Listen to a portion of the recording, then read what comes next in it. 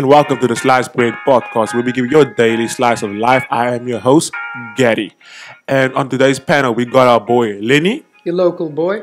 Nice. We got Chris. I'm Chris, and I love the crust. Lovely, lovely. And last but certainly not least, we got the boy, Bob. not the builder, where we don't build things up, we break them down. And today we're going to break down and break break today's topic. And today we're going to speak about social media. Social media is such an important part in everybody's life. We use so many social media apps to get in contact, to post pictures, and just, yeah. So I'm going to talk about the first social media app that really got you, you know, it made you get excited. So I'm going to start with Chris. Chris, what was that first social media app that made you go up and down? Thank you so much, Gary. I would say the first social media app that really got us all uh, involved in virtually communicating is Mixit or MXit as it was known. I don't know if you guys remember Mixit or MXit. Hey, listen here. Sexy eyes has always come my way. that ASL. you go into a chat, you drop your things, and you know, you see what you. It's like a fish, fish sport fisherman. Yeah, so that that was where where we really realized, whoa, we can start communicating with, with each other without actually being in the same spaces. And it was it literally it changed our worlds. I think it changed the way we started communicating with one another. So I would say Mixit, and then obviously Facebook happened, and then it just went crazy from there. I would actually say, uh, Chris, as that technically it was just instant messaging at a cheaper rate because obviously the Yeah. SMS was always there. They even had MMS, but who really looked at the pictures there? Like cost like three rand. yes, but the expense of messaging each other and Yeah. getting in contact, that's what the mixer, according to you, is that's where its um, primary accessibility took place because it was cheap and it was amongst people that were young. That's why it was possibly the first one I experienced before we started moving on to better phones and better apps. Because let's face it, the BlackBerry at some point in time really took over the world, always. where that BBM was a thing. Yes. So I, I would say mix it first, BBM too. What's your BBM pin? and Facebook obviously. But I had never interacted in the DMs there. just to inject something, uh, Lenny, you said three rand for like um, mix it. Did you get a Cell C um, um, SIM card? That well, was three rand for the MMS, and that's why you went to mix it because I mean, as as a youngster who has three rand to spend on a message, Nah, or I'm- even one rand to spend on an SMS. No, I'm just saying with a Cell C um, SIM card, all you had to have is a 50 cent on, and, Oh, you, can, and you can chat for days on Mix It, dude. That's Yeah. the only reason I got a Cell C SIM card at the time. Let's keep it a thousand. Because sexy eyes was waiting for you. Yay! she was she wasn't on the way, she was in love. She was online in love, yes. She was in love, not a way online. She was, chatting. Yo, bringing, bringing up. Memories, guys. Retro gaming. exactly. Bringing up. All these um, these social media apps bring a lot of memories but um do you feel like those social media apps evolved or did you just evolve to go something different you know? Did you like move away from mixit to something better or did mixit just become instead of a so, like a normal texting app to become more like you know advertising social media? Like like not social media advertising products. So bob I would say the thing about Mixit was you had to log in every time before you could access this ability for instant messaging. But as uh, evolution took place, like let's say the BBM or the WhatsApp or the Facebook, it's instant. It's like it's immediate. There isn't any sort of uh, security barriers you needed to go through. I think, So- the, sorry to break you, but the key thing there was the smartphone era that, that kicked in. Yeah, evolution took place, man. You had to grow up and do better in life. Get better phones. on that evolution, Bob, it's it's it's it is evolution, but it's scary at the same time that as long as you have data or you are connected to Wi-Fi, you are always online. Yes. Fair enough, fair enough. You're always accessible. Yeah, Let me put it al- like that. always accessible. Because now, mix it. If you were not online and you get a message, there's no ping, there's no um, notification. But now you don't need to be on Facebook, on have WhatsApp opened Mm-hmm. or have Instagram open, but you'll still get that notification. Yes. It's Yes, always gonna so be you can there. still read the message without reading it. The blue tick really destroyed everything. and and and on that on that point about uh, Mixit is that I feel like it's a bit sad in that way because it takes the romanticism out of when you went on Mixit, you were you went on to chat to people. Yeah. So when you would chat to like Bob mentioned your crush or whatever, then uh, it was the, the attention was there because you on Really? online at the time to chat. Whereas now the messages are more watered down. They don't carry the same amount of value anymore because you can send it at any time of the day, and that person will now receive it at any time of the day. Yeah. So the conversation doesn't flow in the same way like it used to. I feel. Fair Yeah. enough, Chris, but we all do must that please call me, go and mix it. Yeah, guys, man, you're bringing up so many memories, right? But now let's go a bit further. Let's look at the different apps. I'm talking about your Instagrams. I'm talking about your Twitters. I'm talking about all those new funky ones, even the TikTokers. So, like, how are these new social media apps like um applying to your life? I'm talking start with you, Lenny. Do you enjoy Instagram? Do you enjoy Twitter? What do you use it for? So forth. social medias i enjoy it to an extent in the sense that there's accessibility to things that interest me and it's it's quicker to view certain things um, i don't like the fact that i get bombarded with tons of things that i'm not interested in. Mm-hmm. As soon as i click on one thing or watch one thing suddenly those algorithms kick in and now it's just all there. Mm-hmm. And it's difficult to avoid that. It's like if i'm watching a post of wrestling or whatever for the next 20 days or for the rest of my life everything that pops up on my feed is now wwe mm-hmm. which I'm, I'm a fan of but i mean it's not like i want to have that for the rest of my life on my timeline you know um, it does have its pros and cons accessibility you get to catch up on people's lives, especially if you've got friends that are overseas or ones that you don't see as much. It's nice to kind of keep track of them of where they are at, but it definitely has its cons as well. And Bobby? First and foremost, please like, follow uh, the Slice Bread podcast on all those social medias that was mentioned Please. previously. Please and thank you for that. Um, with regards to social media and its usage, um, I would say I like Twitter. I just don't. I think it's very toxic. Let me just be real about it. Room to vent. I like Instagram because I can see people um, posting the fake lifestyle they really want, but it's cute. It's nice to watch. I like Facebook because then you can get the old people's true opinions because they don't care. They have no filters. Mm-hmm. It's fun to watch. Mm-hmm. And mm-hmm. the one I probably use the most is WhatsApp for either business or marketing or some sort of personal relationship. So that's my go to one Okay. because watching statuses has now affected everybody. All social medias have it, whether it's a reel, whether it's a short story. Facebook has it, Instagram has it, WhatsApp has it. So, you know, I'd rather watch my, the people's lives that I really care about via statuses than to uh, watch celebrities. And Chrissy Boy? Yeah, I feel I don't know if anyone mentioned it. Yes, the whole the whole capitalism aspect that social media has created. I mean, people are basically using Facebook, more Instagram actually, and this new app that's now come out. Uh, I think maybe in 2017 or so, 2018. I'm, I stand um, corrected. TikTok, and people are becoming famous of Instagram Yeah.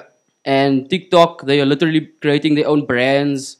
It's creating, I mean, I mean, let's not forget social media has also created a lot of jobs now. Yeah. Yes. Most companies now literally have social media departments. Mm-hmm. So that's a that's a huge thing I think that social media has done in, in modern times. I do feel like uh, Instagram and TikTok is very superficial and dodgy Mm-hmm. in terms of how people present their lives. But that's obviously we can talk about that Yeah, all but day. that's the fantasy, don't yeah, you think? no, about definitely. They're selling is. the fantasy. The thing is, Have I'm not seen- on TikTok, but you'll see TikToks on every other uh, platform, whether it's YouTube, Yeah. whether it's Instagram. They'll show you TikTok, TikTok reels, videos, and yeah. you're like, I'm not even on TikTok, but it's Yeah. affecting my uh, timeline and algorithm. if I take for, for me, I enjoy social media for what it gives me. If you use YouTube, if I need something to fix, I just Google it. Uh, I Yeah, just, how to how to how, fix how to yeah. fix something. I just go- YouTube uh, a fix well how you answer a question. I think that's its purpose, and then you can see it. Because if you Googled it, you'd still have to read the instructions. Exactly. But to see it actually occur on the Exactly. camera helps you better understand it. Exactly. That's why I, I use YouTube for all those DIYs and something like Mm-hmm. for those things. And then you guys forgot to mention LinkedIn. Like LinkedIn's very important. Oh yes, work wise, yo, Yeah. hundred percent. You guys Well forgot- played, Gary. I usually give you a lot of grief, but look at you now. Oh, He's building You're Gary on- up just you- a little bit. You're going on me, man. Yeah, but LinkedIn, because like I use LinkedIn just to look for like for jobs, you know, for any posts available and stuff. So it's very much important. Like and your Instagram, yeah, it's pretentious. You know, you got your influencers, you got all these people posting their fake lifestyle, but they don't show them how much debt they in. But guys, we're talking about all like the positives of social media. What do you feel is the negatives of social media? Because for me, I feel you share your location, man. You know, when you go out, like you post a picture, like I'm at this location, it kind of gives people aware where your whereabouts are, man. if you go live, and especially if it's someone who's living in your in your city and they notice certain surroundings or backgrounds in your life, right? Um, they know where you are. Again, what you said, Gary. If you post a location, they know where you are at. Um, people can recognize stuff in the background. If you're taking a picture at home and they see something, they can kind of track it down. Mm. It is a dangerous thing as well, and I think that's a con. Uh, well, it's definitely a con. Mm. But another con is is also just selling that lifestyle where people now view this and they're thinking, okay, in order for me to achieve happiness in life, this is the life I need to aspire to. Mm. So I'm gonna chase it. Exactly, yes. I want to actually to bring something to you, Bob. So I was on this app called Tinder, right? So I was like swiping left and right.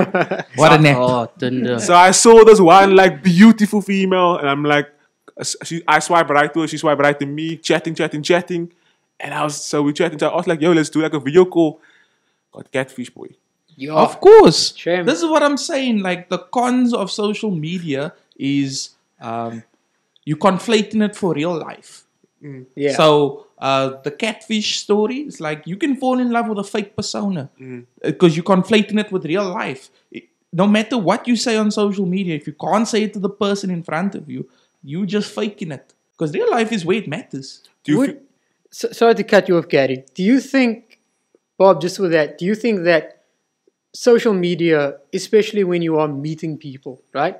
Um, do you think it's should be more of just a setup for that eventual in-person meet instead of just to continuously being the online talk? Absolutely, because it's two different sort of communications. Because there's there's verbal and then there's non-verbal communication, and the non-verbal can only take place in real life with the person in the room with you, and that is where you'll find more information about that person than you ever will online because you will lie. People can lie and you won't Yeah, tell the definitely. difference. If I'm in the room, I can feel your energy like, oh, you on some nonsense right now and I, I can step away. That sort of decision making to fall in love online. Are you crazy? I've never trusted anyone that said they love me and I never met them. But it's it's happened though. Um, Yeah. It's happened People have met each other online, and they some people are even married today because Yeah. of it. But I mean, then it would come down to And eventually where did they get married in real life? Well, yeah. or online. no matter what work you put in on social media or in the DMs or none of that, you're gonna have to replicate that Yeah. same thing in real life in any You- case. You build so much pressure up for yourself, unnecessary and you pressure. will you will Yeah. fail to the very expectations you build it up to because no one is perfect. Exactly. So Yeah. selling the idea that I'm perfect is Right, and if you're talking online, you've got time to think about responses and stuff. Exactly. In person, it's quick. the most important thing is uh, reactions to things. When someone says something, how Yeah. you react. You can't really lie in, in real life, but you can also misunderstand things online. Hundred tone and context. That's what you Yes. learn in work specifically. It's like if you say something, it can be derived um, wrong from the person reading it if they're reading it in their mind in a different tone. Yeah. You could mean it friendly, but it could come across as rude or arrogant by accident because it's not in real life. Because if you could talk or you're on the phone at least, the voice inflections will indicate, oh, this is being sarcastic or this is being um, playful, but you can't read that via text. Yeah. For example, if you're reading on an email, as per my last mail, that is not a gentle response. Yeah, no, there's certain nuances. There's Yeah. certain nuances within text that you got to pick up on. Uh, so, as per my previous Have- mail, have you just got that? look- Scroll down. Yeah. yeah. But you Read can't say before scroll down. I mentioned this before, as previously mentioned.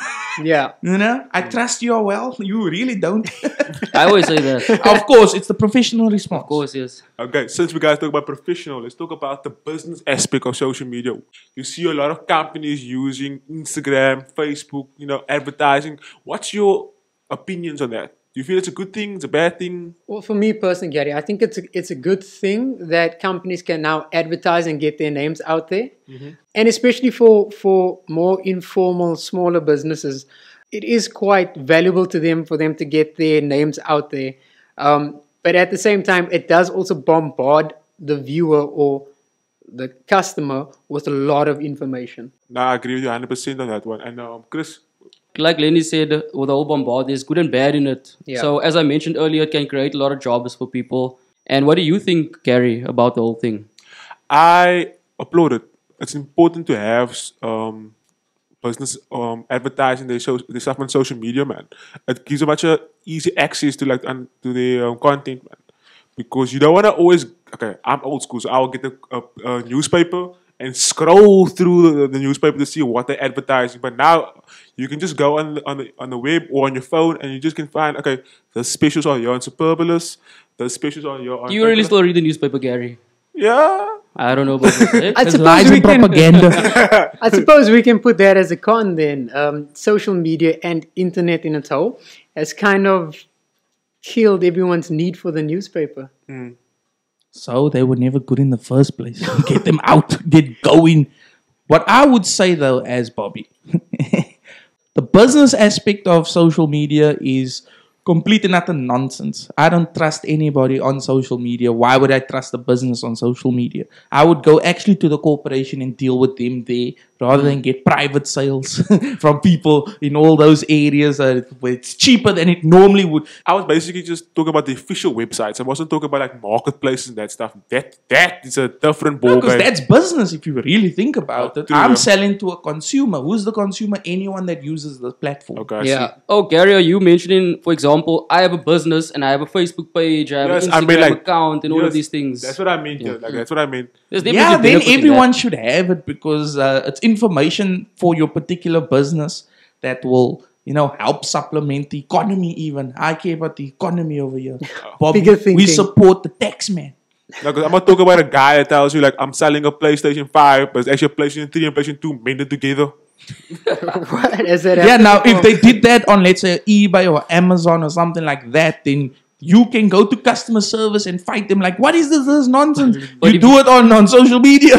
Bye. If you fall for that, you deserve that. yes, thank that you for your money. Scammers everywhere, guys. You understand? I trust nobody. But anyhow, so we gave all our pros and all our cons, right? I, was, I just want to get you guys your conclusion. What do you feel? Is social media a good thing for you or a bad thing? You know, what what's your opinion on that, um, Chris? Look, as I said, I do fear a lot for social media when it comes to superficiality. That's a conversation for another day. Business wise, social media can work to your favor and also to stay connected with friends and family. Nice, um, Lenny. Definitely, it's a bit of both, bit of good, bit of bad. But I'll say good because I get to keep in touch with certain friends, um, ones that you don't get to see as often, and also it keeps you a bit closer to all of your own interests um, if the algorithm allows it. And that's it for me. Nice. And for myself, I'll say it's a good thing because I enjoy social media. It's very much a quick way just to get into contact with people, contact with life, and everything else. Obviously, you're gonna have a bit of your cons on there, but you you'll deal with it, man. It's nothing, nothing serious, except for the catfishing part. We'll swipe left for that. Anyhow, let's let's leave it last for our boy Bob. Uh, social media is bad. Um, the older I got, the less connected I want to be to people. I want to be off the grid. I don't want to be accessible to people 24 7. I don't like it. I'd rather them uh, keep their products to themselves. I don't want it. Don't advertise to me. If I want something, I'll get it. Thank you. Well done for breaking it down, and let's break down this episode and tune in for our next slice of life.